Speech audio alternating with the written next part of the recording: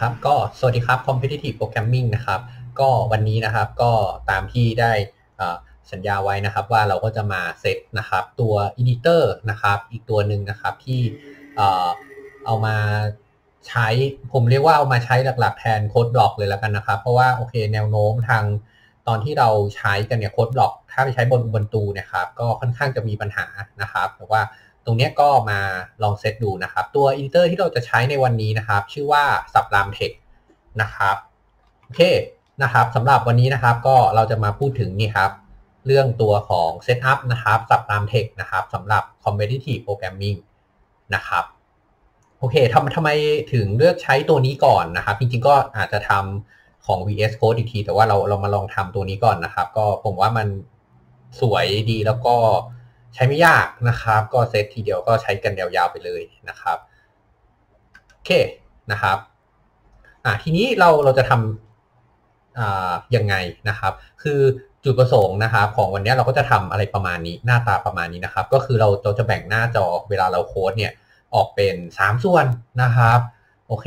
คือส่วนแรกครับตรงนี้ครับ ส่วนซอสโค้ดของเราครับซอสโค้ดของเรา ก็คือโอเค เราก็พิมพ์โค้ดไปตรงนี้นะครับ ส่วนตรงนี้ครับ เป็นส่วน Input ครับ แล้วก็ Input ไฟล์นะครับ มี Output ไฟล์เออทำไมเราทำอย่างนี้ ปกติเวลาที่เราเเขียนลักษณะของ Competitive Programming ใช่ไหมครับ เราก็จะกด run แล้วก็ไปอ่าน Input ไฟล์ถูกไหมครับ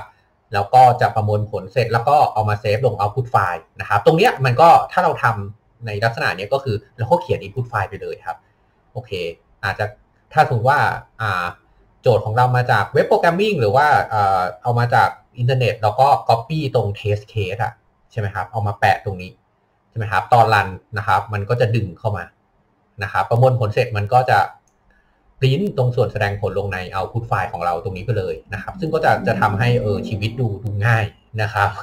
ก็สะดวกดีก็ลองเซตกันดูนะครับอะทีนี้นะครับเรามาดูนะครับเอาไลน์ของวันนี้เราจะทำอะไรกันบ้างนะครับ ก็อันแรกนะครับก็ install Sublime Text นะครับ แล้วก็มี install min gw นะครับ compiler หลังจากนั้นเราก็จะมาเซต environment variable ของของตัวเครื่องนะครับ แล้วก็มาเซต build system กับเซตตัว Sublime Text Layout ให้มันได้ 3 3 หน้าจอนะครับ3ไฟล์แบบเมื่อกี้เปิดพร้อมกัน 3 ไฟล์นะครับ ส่วนตัว build system ก็คือเอาไว้เขียนตอนเรา compile นะครับ โอเค Sublime Text นะครับ มาดูตัวแรกนะครับ Sublime Text ก็คือโอเค่ะตัวนี้โลโก้นะครับ AS นะครับตรงนี้อะสับรามเทคง่ายๆเราก็เข้าไปที่อ่า Google นะครับ แล้วเราก็พิมพ์คำว่าสับรามเทคนะครับ ถ้าสมมติว่าเรากดตรงเนี้ยปุ๊บนะครับ ก็จะเข้าสู่หน้าจอของสับรามเทคนะครับ เราก็กดดาวน์โหลดเลยก็ได้ โอเคผม ตอนนี้ผมผมใช้เครื่องอ่า Windows อยู่นะครับ ก็คือโอเคผมคิดว่าโอเค พวกเราที่ดูหลายคนอะถ้าจะใช้ก็อาจจะใช้ Windows อยู่นะครับ ก็ลองดูนะครับ พอโหลดออกมาปุ๊บก็จะได้ไฟล์ครับ ได้ไฟล์ตัว install ของ Sublime Text นะครับ ก็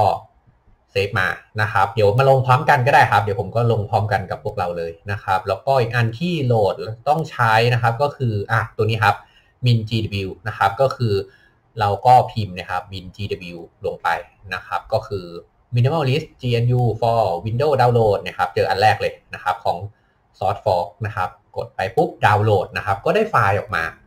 นะครับได้ไฟล์ออกมา ทีนี้นะครับเดี๋ยวเดี๋ยวผมเปิดคร่าวๆของ MinGW ว่าเออมันต้องทำอะไรยังไง แล้วเดี๋ยวเรามาลงพร้อมกันนะครับโอเคตอนติดตั้ง MinGW ครับเวลาเรา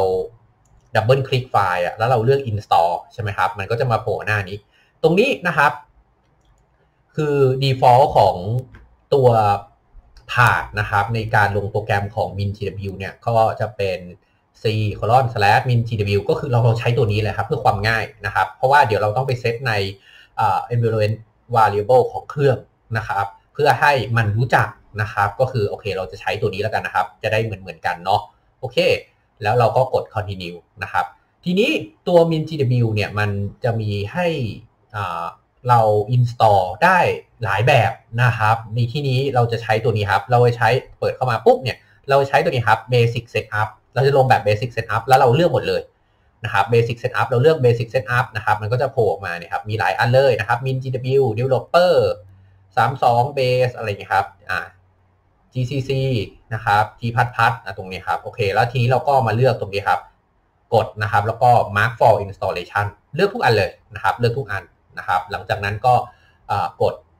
accept นะครับ ก็ปล่อยมันลงไปนะครับ ซึ่งก็โอเค ลงไม่ยากนะครับ อะ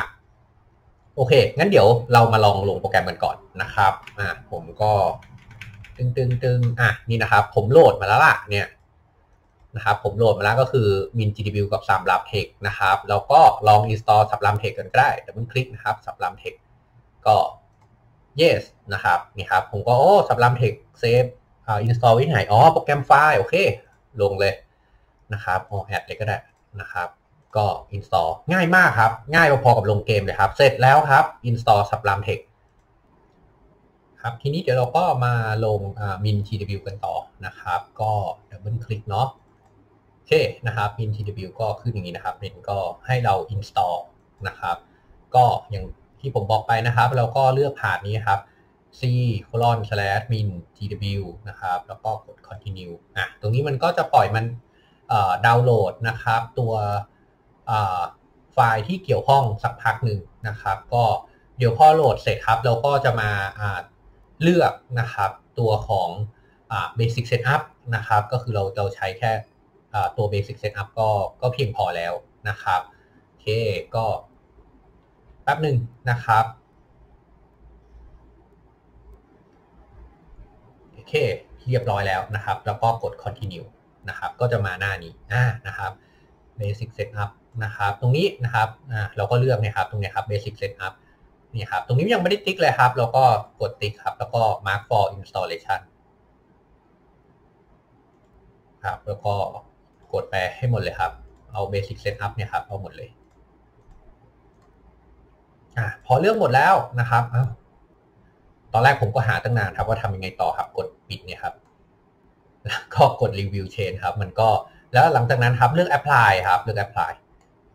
นะครับคือตรงเมื่อกี้ผมก็งงครับว่าเออทำไมเขาไม่ทำปุ่มให้นะครับ ก็ก็โอเคครับ ก็เราก็กดปิดนะครับ ก็ก็ได้นะครับ หลังจากนั้นก็ปล่อยมัน install นะครับ ก็พอลงตรงนี้เสร็จนะครับ ก็เดี๋ยวเราจะมาเซตพาดกันนะครับเซตพาด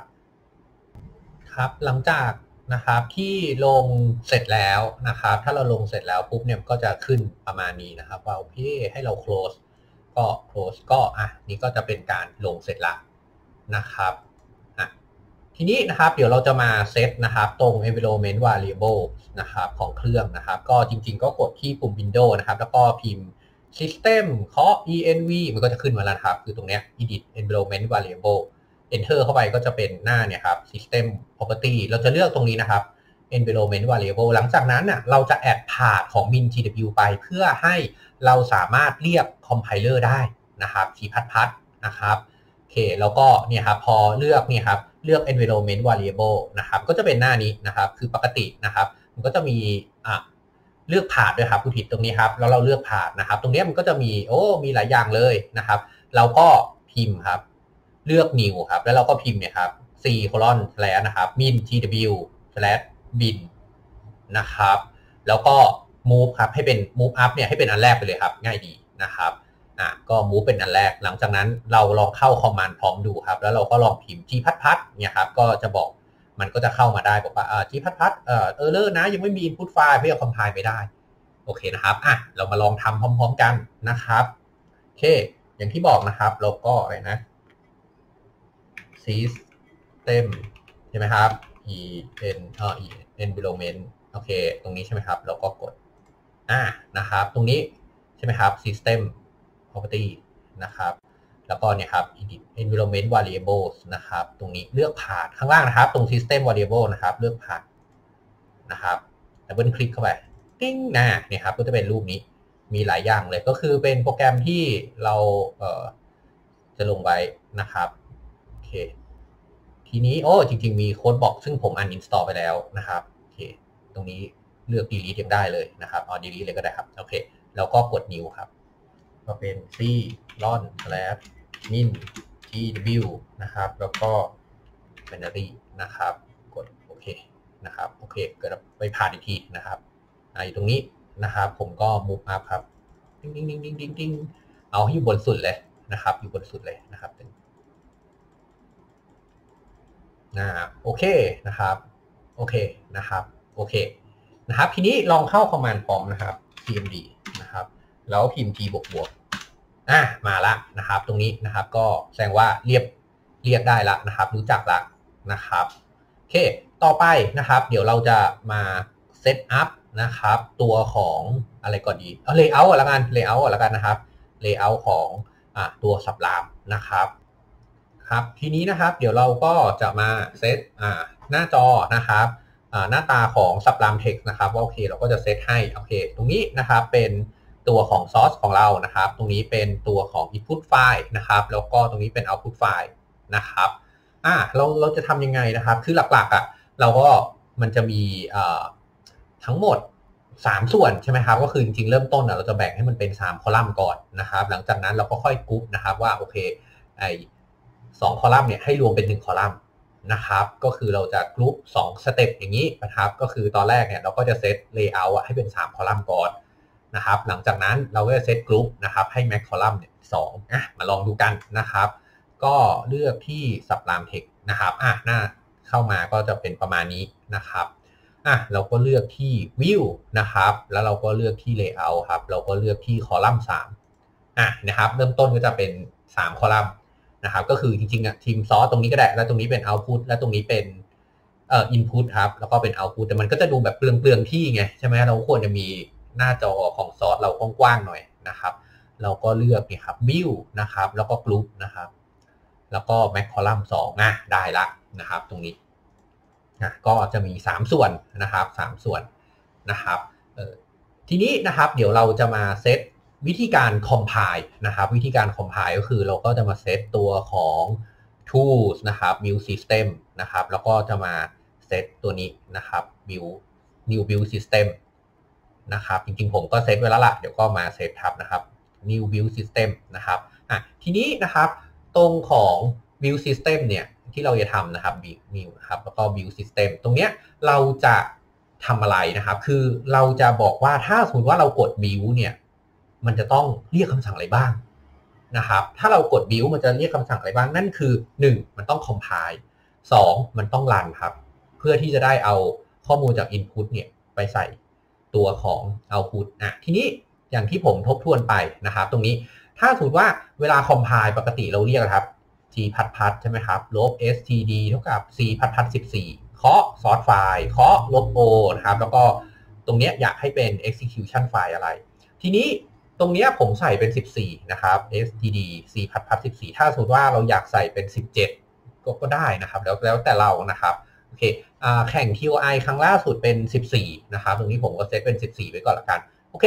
ตรงนี้เป็นโครงเนาะ เวลาเรียกจริง เราก็จะเรียก g พัดพัดเคาะ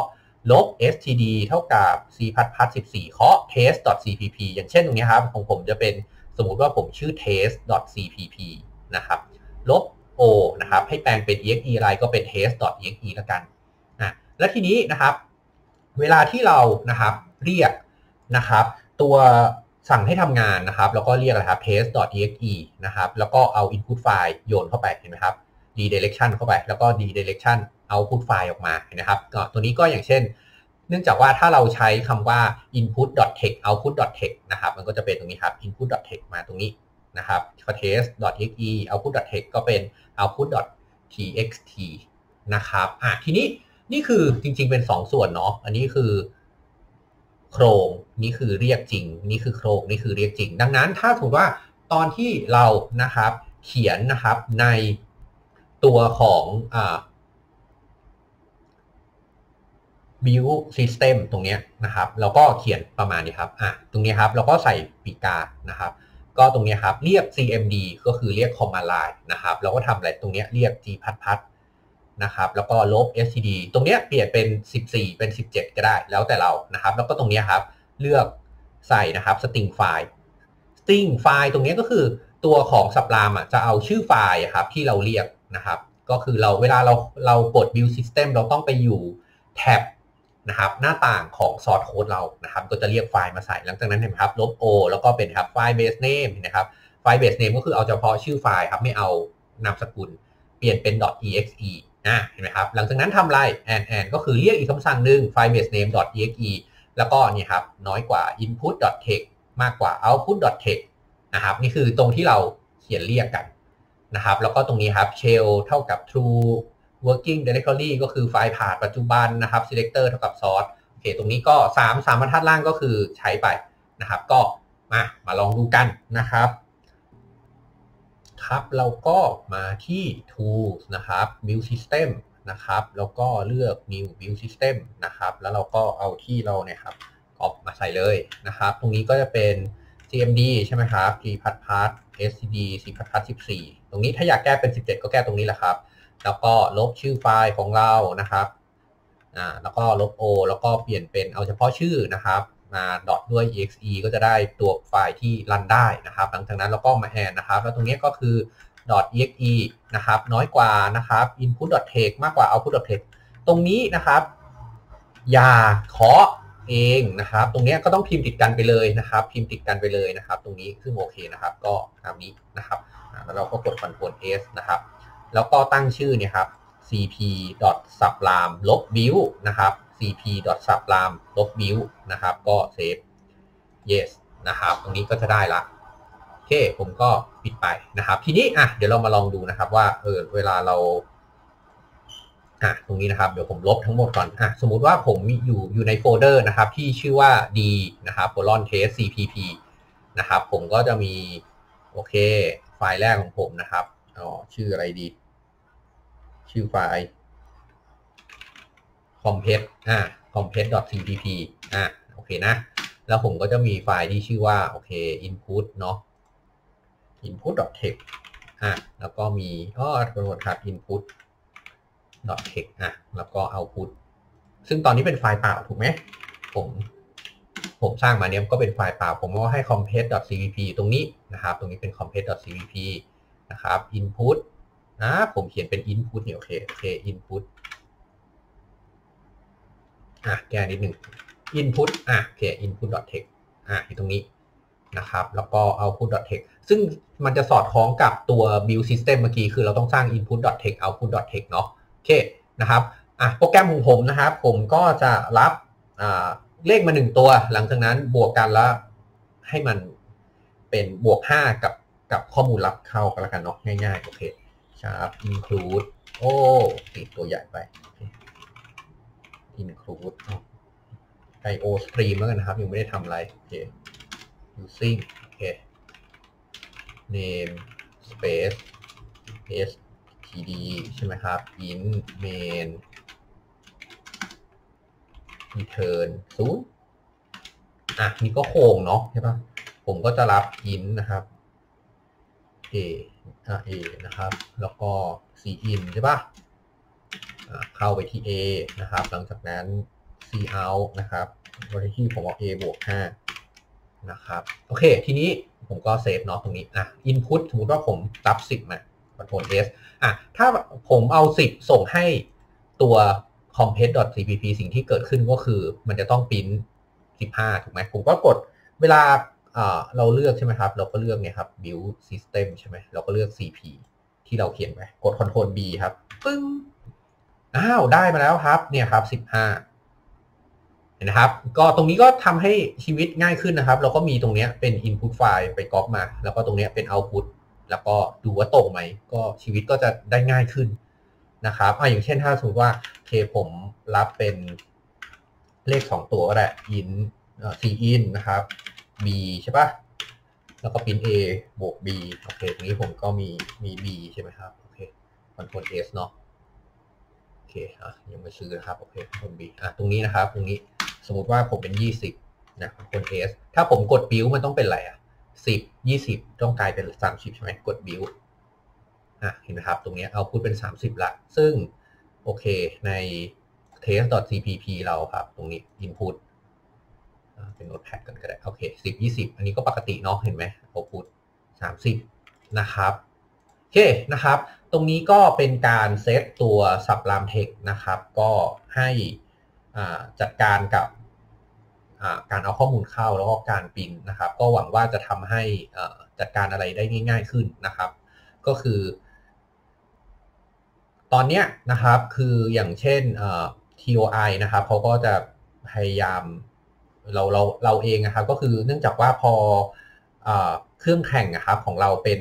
Ubuntu ใช่ไหมครับ มันมีปัญหามากเลยกับโค้ดบอกนะครับเราก็ลองใช้ Editor ตัวอื่นนะครับ ซึ่ง Sublime Text ใน TUI ครั้งล่าสุดก็มี Sublime Text ให้ใช้นะครับ ก็มาลองกันแล้วกันนะครับสำหรับ Setting อย่างอื่นเดี๋ยวก็มาลองดูในคลิปต่อๆไปกันนะครับสำหรับวันนี้ก็โอเคครับ ประมาณนี้ก่อนนะครับ ก็พบกันใหม่ในคลิปหน้าครับ สวัสดีครับ